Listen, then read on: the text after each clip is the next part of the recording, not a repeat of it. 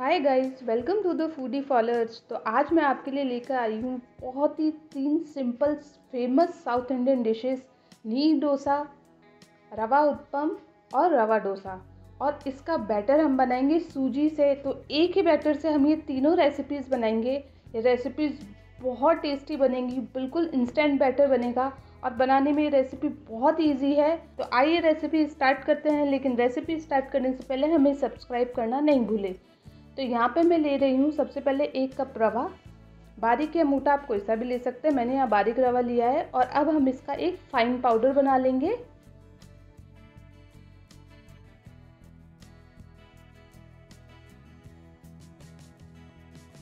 ये देखिए, इस तरीके से इसका पाउडर बना लेंगे और इसमें हम ऐड करेंगे अब दही। थोड़ा सा नमक। और पानी ऐड करते हुए इसका हम एक पेस्ट बना लेंगे। तो धीरे धीरे पानी ऐड करते हुए बिल्कुल लम फ्री इसका हमें एक पेस्ट बनाना है। तो ये देखिए, इस तरीके से हम इसका एक पेस्ट बनाएँगे। और इसे ढककर रख देंगे पंद्रह मिनट के लिए साइड में। तो पंद्रह मिनट बाद रवा थोड़ा सा पानी से फूलता है तो हम वापस पानी ऐड करेंगे। कंसिस्टेंसी तीनों रेसिपीज़ की अलग अलग होती है, उसी अकॉर्डिंग यहाँ पे मैंने रेसिपीज़ बनाना स्टार्ट करा है। तो सबसे पहले हम रवा उत्पम बनाएँगे तो उसकी कंसिस्टेंसी हमें ये वाली रखनी है। तो आइए बनाते हैं रवा उत्पम।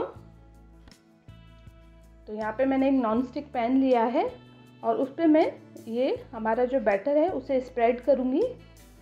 तो यहाँ पे मैं मिनी उत्पम बना रही हूँ।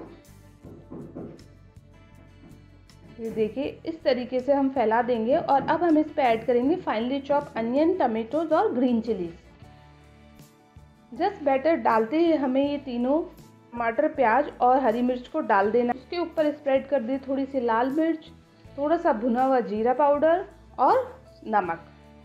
ये जब एक तरफ़ से सीख जाए तो इसे पलट के हम दूसरी तरफ़ से भी सेक लेंगे। फ्लेम को हमें मीडियम हाई रखना है। तो ये देखिए मीडियम हाई पैन पे हम इसे दोनों तरफ़ से इस तरीके से पका लेके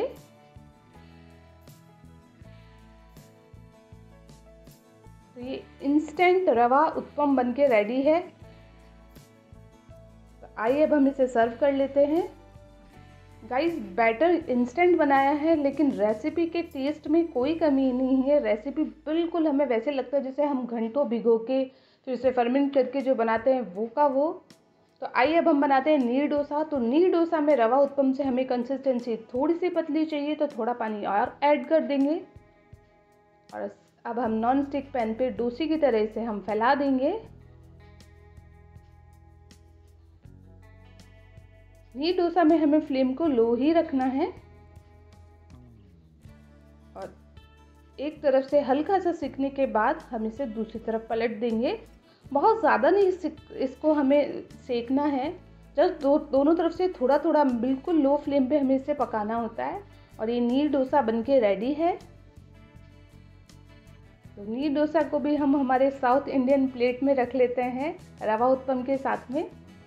तो ये हमारा नीर डोसा भी बनके रेडी है।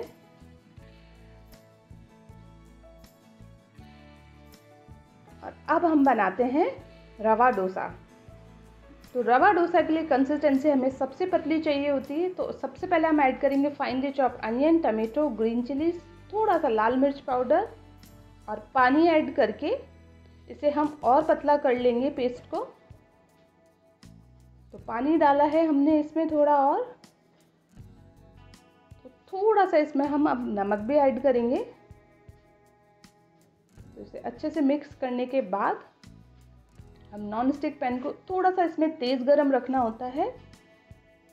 तो ये देखिए नॉन स्टिक पैन अच्छे से तेज़ गरम है और इस इसको हमें फैलाते हुए नहीं, हमें इसे ऊपर से डालना है। जस्ट हमें ऊपर से डाल देना है। ये अपने आप फैल जाता है क्योंकि इसकी कंसिस्टेंसी बहुत पतली है। आप चाहे तो इस तरीके से आप पैन को उठा के इसे एडजस्ट कर सकते हैं। ये देखिए, पूरे बैटर को अच्छे से फैला दिया है। थोड़ा सा इसके ऊपर घी डाल दीजिए। और जब ये अपना कलर चेंज करे, अब हम इसे पलट देंगे और दूसरी तरफ़ से भी पका लेंगे। ये देखिए कितना परफेक्ट रवा डोसा हमारा बनके रेडी हुआ है। खाने में बहुत टेस्टी लगता है और बनाने में भी बहुत आसान है। इतनी इंस्टेंट रेसिपी है। आप सुबह बच्चों के लंच बॉक्स में दे सकते हैं। कभी भी झटपट अगर आपको डोसा बनाना हो उत्पम बनाना हो तो ये बहुत इजी रेसिपी है। तो अब मसाला ऐड करके और हम इसे फोल्ड कर देंगे और यहाँ पे हमारा रवा डोसा बनके रेडी है। तो रवा डोसा को भी अब हम सर्व कर लेंगे। हमारे साउथ इंडियन प्लेटर में तो तीनों साउथ इंडियन डिशेस बनके रेडी है। वो भी इंस्टेंट इंस्टेंट बैटर से और टेस्ट में बहुत टेस्टी है। गाइस ये रेसिपी ज़रूर ट्राई कीजिए और मुझे बताइए कि आपको ये रेसिपी कैसी लगी। Thank you for watching my video अगर वीडियो पसंद आया है तो हमें लाइक एंड सब्सक्राइब करना नहीं भूलें।